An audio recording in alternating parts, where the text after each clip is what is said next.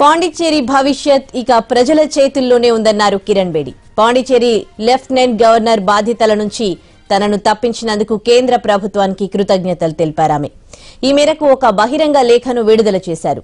పాండిచ్చేరికి మంచి భవిష్యత్ ఉందన్నారామె అంతేకాదు తన డైరీ కవర్ పేజీని ట్విట్టర్లో పోస్ట్ చేశారు Kiran Bedi.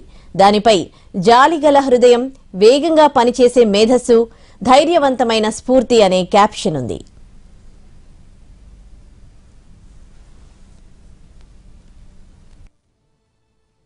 Satisfaction that during this tenure, Team Raj Niwas diligently worked to serve larger public interest.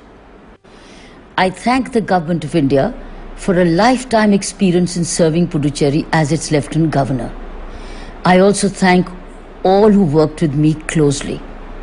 I can say with deep sense of satisfaction that during this tenure, Team Raj Niwas diligently worked to serve larger public interest.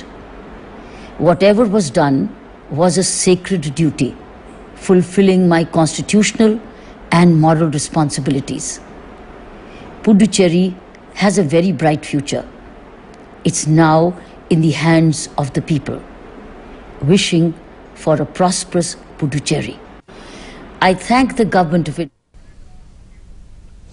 Puducherry lieutenant governor Kiran బేడికి కేంద్రం shock ఇచ్చింది. ఆమెను తొలగించి Telangana governor తమిళిసైకి అదనపు బాధ్యతలు అప్పగించింది. పుదుచ్చేరిలో రాజకీయ సమీకరణాల మార్పుల సమయంలో కిరణ్ బేడిని తొలగించడం చర్చకు దారితీస్తోంది.